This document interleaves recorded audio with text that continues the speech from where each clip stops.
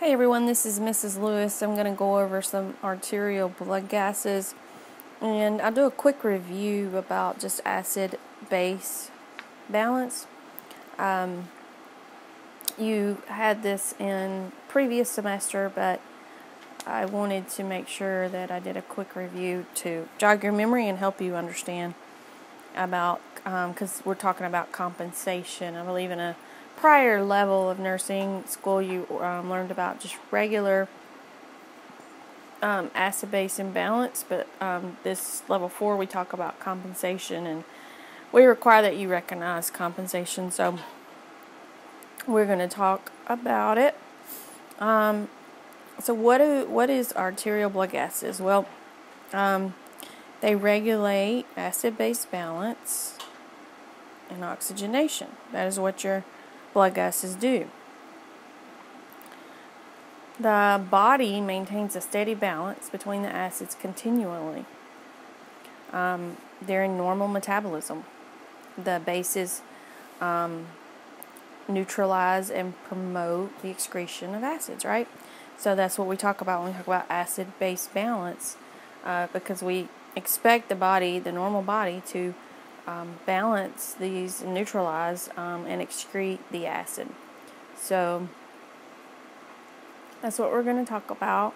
You know, there's a lot of health problems that lead to acid base imbalances diabetes, COPD, kidney disease. Um, so it's important to remember that acid base balance or imbalance is not a disease but a manifestation of an underlying health problem. Again, that's what um, we're thinking about here. What is the underlying problem? Uh, so, you know, you have to consider uh, these things, especially like if there's kidney failure going on and the kidneys aren't buff, uh, aren't uh, compensating, then you know what are you going to see? So that is why we talk about it in level four, because of the body compensate compensating. So let's just talk about the components. Um, you know that respiratory therapy, you, um, will usually come and draw your ABGs. Um, and you know that an ART line, if left in place, you can draw ABGs um, from that line. So your ABG components are your is your pH, which measures hydrogen ion concentration in the blood and it shows your blood acidity or alkalinity. So your pH is your blood basically, acidic or alkaline. And that is 7.35 to 7.45. And you may hear me interchange um, the base with alkaline, alchemic, base, basic. Um, so uh, just keep that in mind that there's a there's other terminology for other than base or alkaline. Then you've got your PCO2, that is your respiratory component, CO2, so that helps you relate it to respiratory. It's the partial pressure of carbon dioxide that's carried by the blood for excretion by the lungs, known as your respiratory parameter. And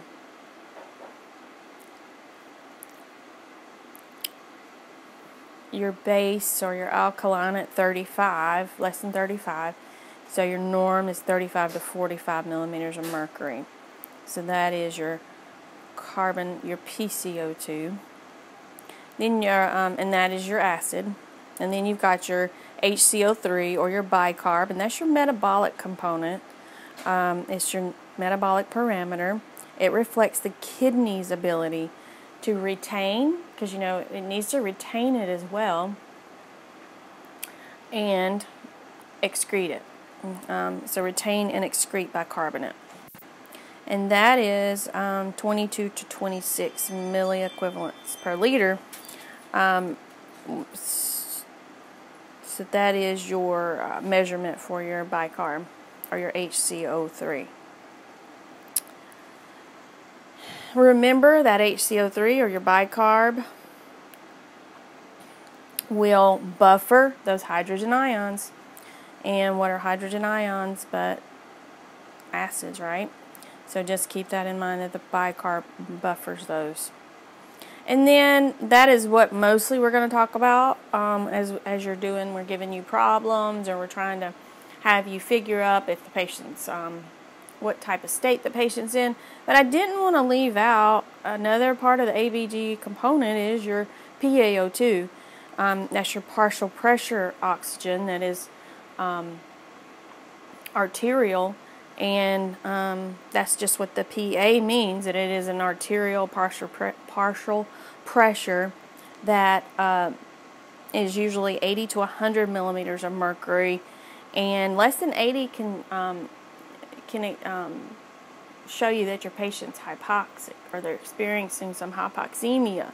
So that is another good measure on how is your patient exchanging carbon dioxide and oxygen. How are their lungs? How are their alveoli? So that is why it is very important not to forget about the PaO2. And then I wanted to throw in too SpO2 because a lot of people get confused on that. So your SpO2 is just a percent of the hemoglobin bound to the oxygen compared to how much oxygen the hemoglobin can hold.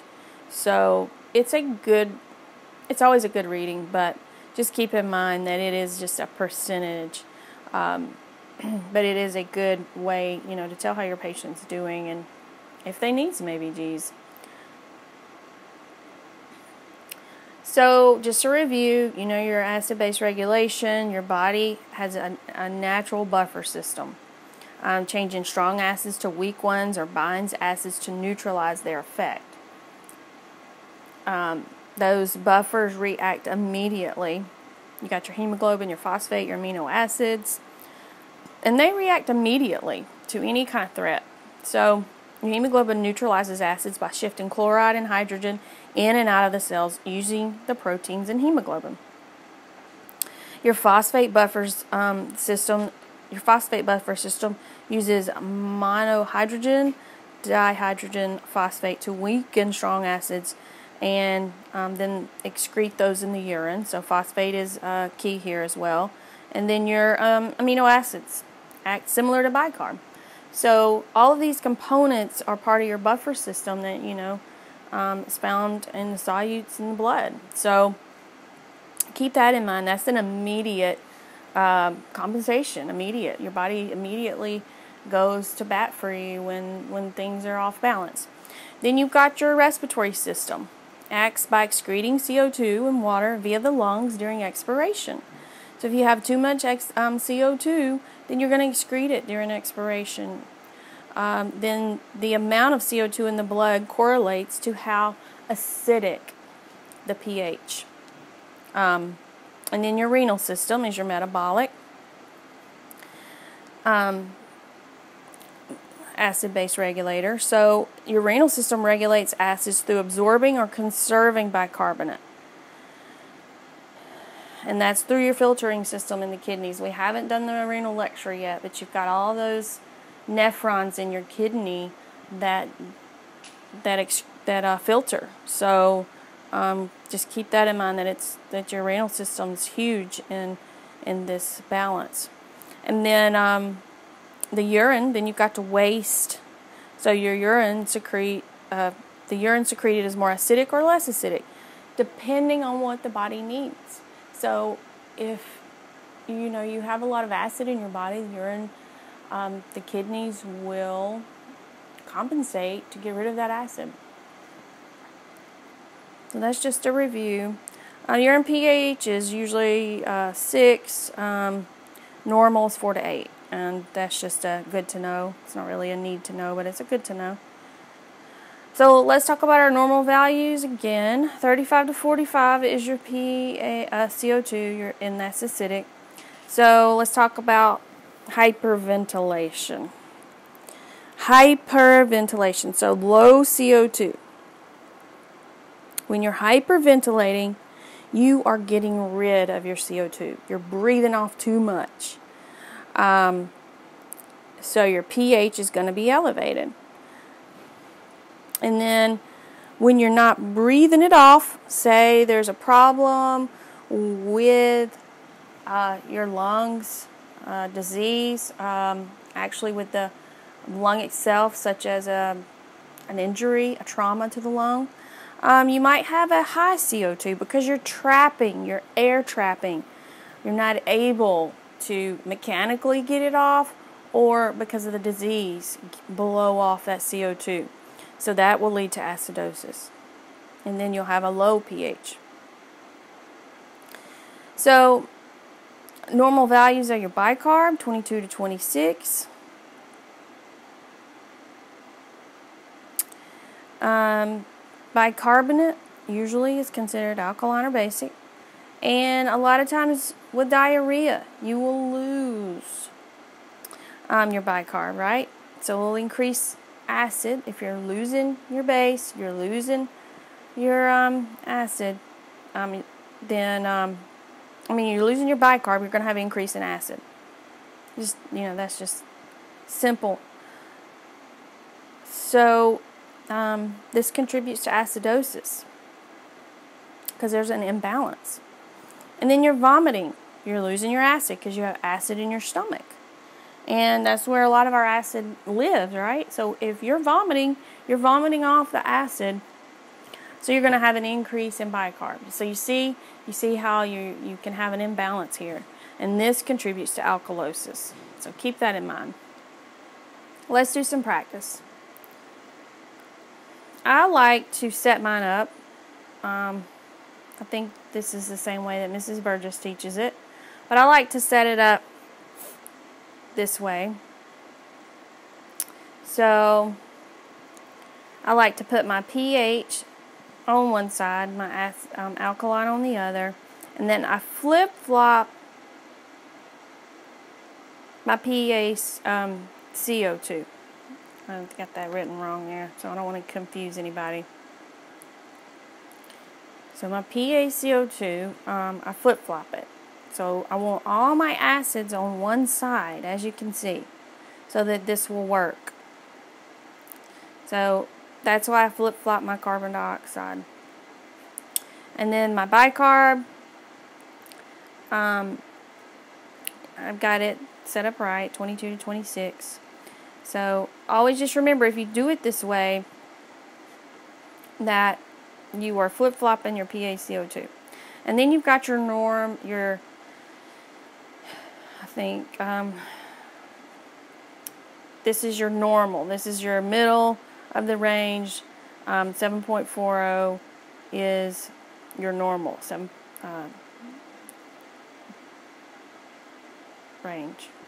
Okay, so pH is 7.31. That's acidic. So I write acid. So you see how I'm writing it on this side. It'll help me do my uh, figures here. I'm writing it on this side. And then my PCO2 is 52. So again, I'll look up here. Is it acidic or is it alkaline? Well, it is greater than 45, so it's acidic. And I write it over here. And then my my um, bicarb is normal, 24. So look back up here, 22 to 26, bicarb is normal. So I put it in there for normal. So I've got an acid and an acid. My blood state is acidic, so I know that the answer is going to be something acidic. But then, okay, well, my respiratory component is acidic, so they match. Respiratory acidosis, because my bicarb is normal.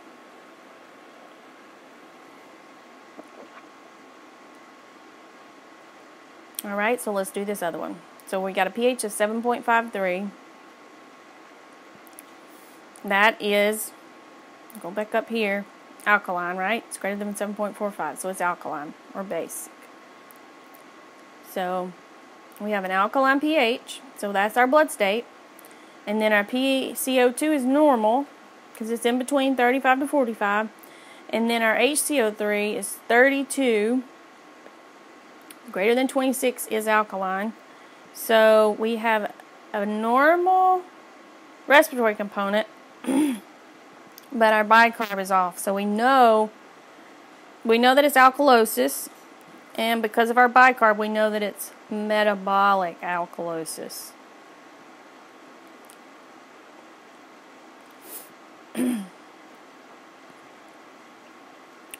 okay, let's keep going. This is just some practice I wanted to go over with you.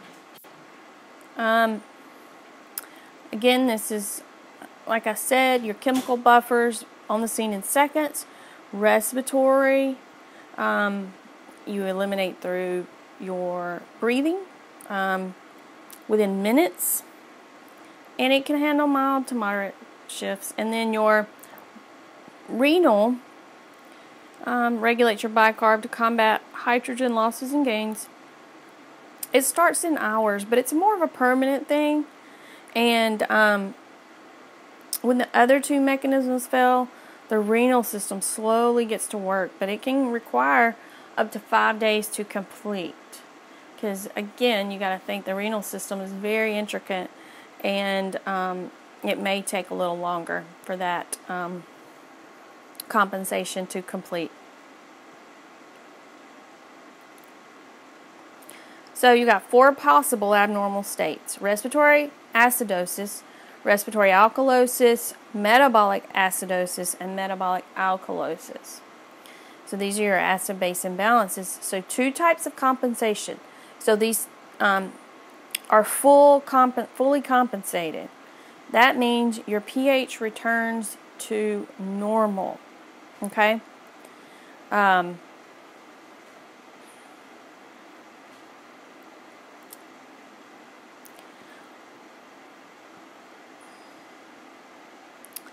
and then partial compensation means your pH is still out of range. Your body has not compensated fully, so it's just partially compensating. There's something wrong, or kidneys hadn't caught up, or the kidneys are not able to fully compensate, or maybe the lungs aren't able to fully compensate.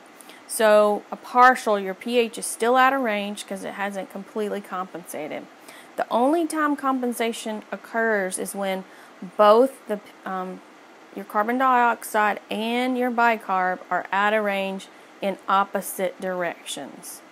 So these your your bicarb and your um, carbon dioxide are going in opposite directions. Okay, so let's recap this. You have four abnormal possible states. Remember, this is abnormal. Your body's not compensating yet when you have just respiratory acidosis or metabolic acidosis. so you will have two, either respiratory, your blood state and respiratory will be off, and your bicarb will be normal, like we, or respiratory alkalosis or metabolic acidosis. So those are your four possible abnormal states. It's abnormal, but then the body like I said, with these compensation mechanisms, will try to compensate. So you'll either have a fully compensated, your body has done its job, or a partial. So the pH is still out of range, the blood is still either acidic or alkalotic, basic. Okay? So let's talk about compensation, partial compensation. Um, your PCO2 is all out of range. You see how they're all off.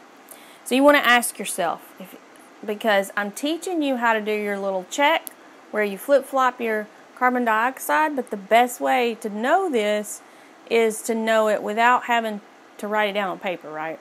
So you want to think through it. You want to ask yourself, is a pH acidic or alkaline? And is my carbon dioxide up or down? How would it affect the pH? Um, so you want to think, how would my bicarb affect the pH? What's compensating? What's not compensating? What problems are there? Um, so you want to think which one caused it so the other one will compensate.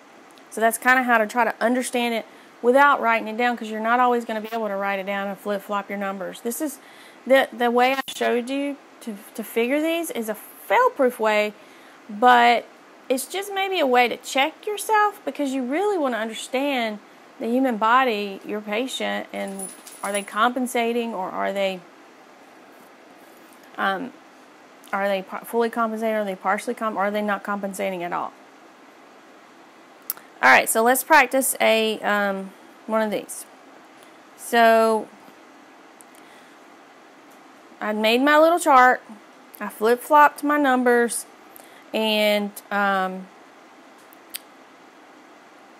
before we do our check, let's talk about it. So our pH is 7.31. It's more acidic.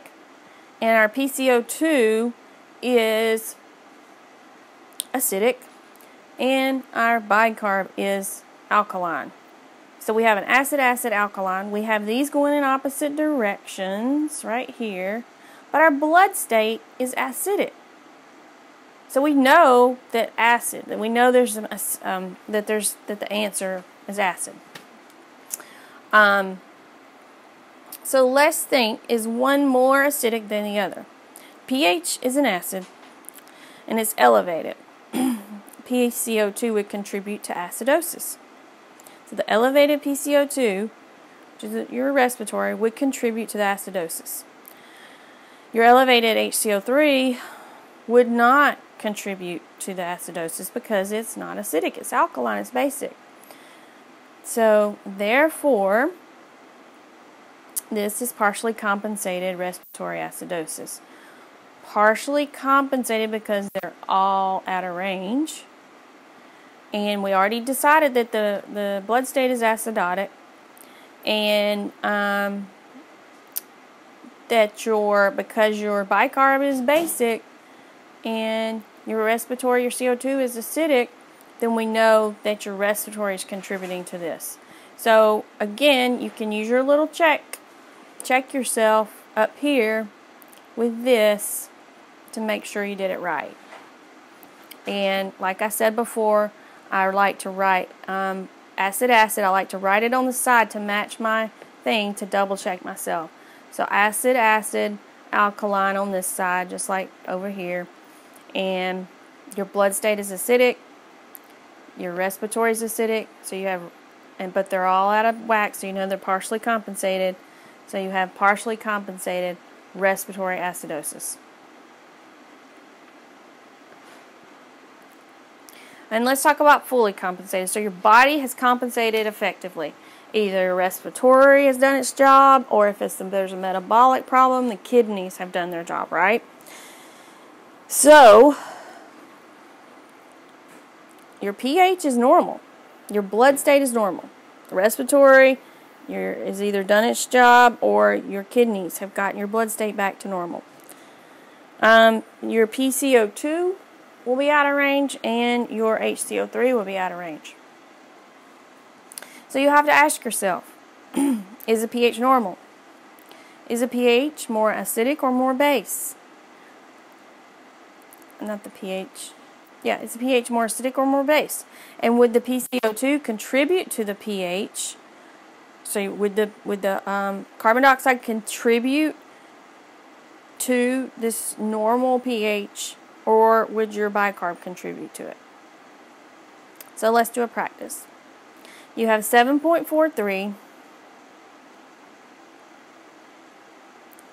I'm drawing my little um, my little chart. And you have a pH of 7.43. You know, is that more acidic or more basic?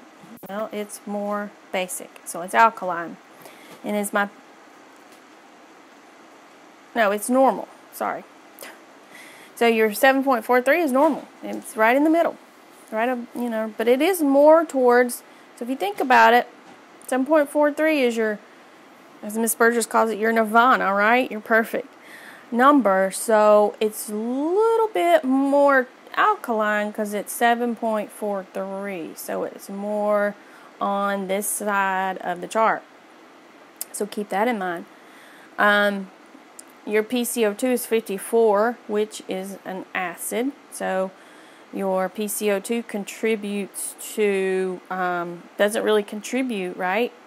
Um, because your pH state is alkaline. So, but it is, um, but the PCO2 is acidotic. And then your HCO3 is 35, which is very alkaline, right? 22 to 26. So your um, it falls on this side. So let's see here. So your pH is normal. Your respiratory component is acidic. And your alkaline, your um, bicarb is alkaline. So we know because we have a normal pH, but these two right here are going in opposite directions. We know that this is fully compensated. Right? Your body has made uh, balance to get your blood pH back back into normal range.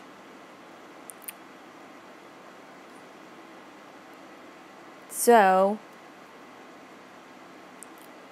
we know that it's fully compensated because they're all off. Okay? And we know that the um, bic we know that the pH is more towards bicarb and your bicarb is um, your your bicarb number your pH is more toward alkaline and your bicarb is more alkaline. So what do you think it is? Metabolic alkalosis. So again, you want to check yourself. You want to look at your um, look at your chart up here. You have a normal. You have um, normal, and then you have these going in opposite directions, um, which is your metabolic alkalosis.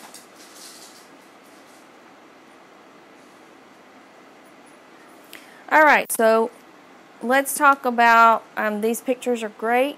Um, these will help you um, just kind of visualize some things. So, metabolic alkalosis, what does that tell you? Well, um, they're losing was metabolic, so it tells you renal. Um, alkalosis tells you base, so they're losing acid, right? And um, increased base, as you see here. Decrease acid and increase base. And um, it's got your kidneys here because that's that's what's important. That's this whole buffering system and um,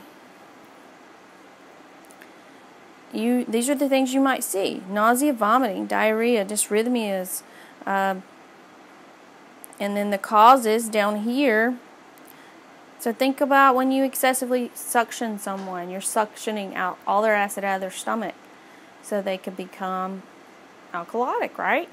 Um, and then you want to think about severe vomiting. They're getting rid of it. They're getting rid of it. Diuretics because of the kidneys, and then um, excessive sodium bicarb can cause it. You can get hypokalemia because, again, you're getting rid of stuff, you're getting rid of things that are needed. And then, of course, you're going to see your tremors and um, tingling, paresthesias, and then even level change in level of consciousness. Um, again, remember, alkalosis, you're losing your acid um, by vomiting. So, vomiting in G tube. And then acidosis, you want to think metabolic again. Metabolic is regulated by the kidneys. So, you want to think um, too much acid, too little bicarb. So, you're losing your bicarb usually a lot of the time through diarrhea. Okay? That's diarrhea. Too much acid, low bicarb. So you're losing out um, your uh, bicarb and you're becoming acidotic. Now, this can be serious. Also, you'll see this with renal failure because the kidneys are not able to get rid of the waste, the acid, the hydrogen ions. Um, so, so you will see metabolic acidosis with kidney failure, and we'll talk about that later.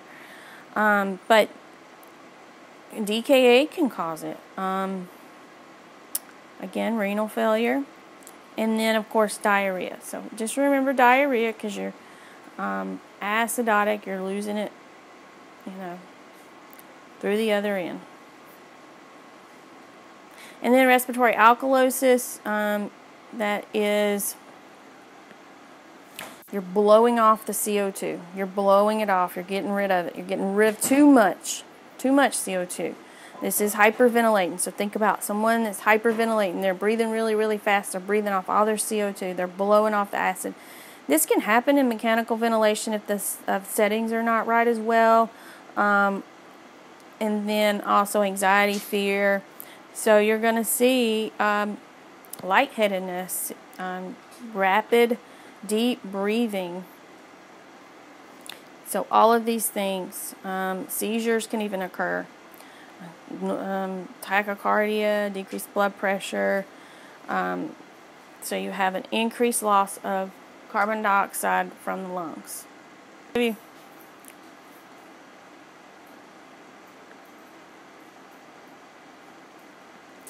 So respiratory acidosis. They're retaining CO2. They're air trapping. They're uh, there's something wrong with the lung. Like I said, trauma or or a um, disease process going on. So they can't get rid of the CO2, and they become acidic. Their blood state becomes acidic because they can't get rid of it like normally, blowing it off. So, this can be respiratory depression, even someone like that overdosed. They're not taking deep breaths. Somebody after surgery, they're not taking enough deep breaths. They have too much, too much anesthesia, too much pain medicine on board. Um, airway obstruction, um, all any kind of lung problem, ARDS, PE, COPD, um, and again, even even your trauma to the lungs can cause this because they just cannot get rid of the CO2. So they're holding on to it. They're not breathing effectively. Um, the treatment for this is to vent them, right? If they're not able to get off the CO2 and they're just holding on to all this acid, um, respiratory acidosis is not a good thing. So um, the treatment is to vent, to put them on a ventilator, um, to relieve that work and to also help the person get that CO2 off and get rid of it. All right, so I have some practice here. I'm going to let you go through this and practice. So I would say go ahead and write all these down. So write all of these down and then um, we'll just kind of go through them.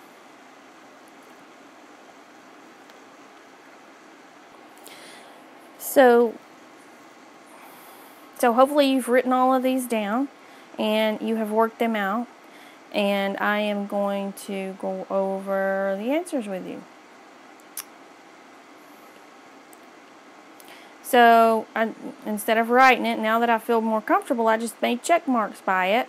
So I know that um, they're all, um, your pH is alkaline. So you're looking at your, your um, chart. Your PaCO2 is alkaline, right? And your HCO3 is acidic. So you've got a partially compensated respiratory alkalosis. And you know that it's partially because they're all off, right?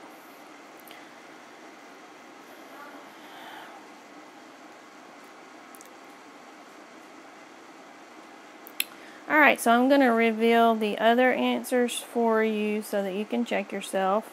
There's also some practice question, uh, practice, good practice in um, NIP they actually have some um, practice problems and some worksheets, so I would definitely recommend getting that and having some extra practice. You can find extra practice online.